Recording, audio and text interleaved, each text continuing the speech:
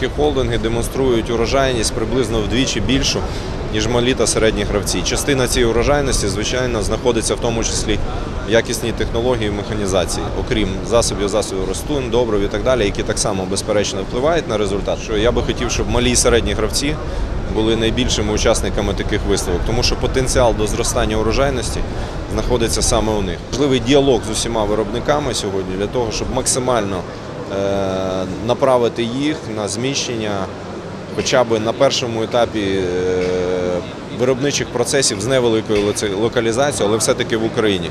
Найбільший виробник е, зернової продукції, перш за все, є найбільшим споживачем механізації.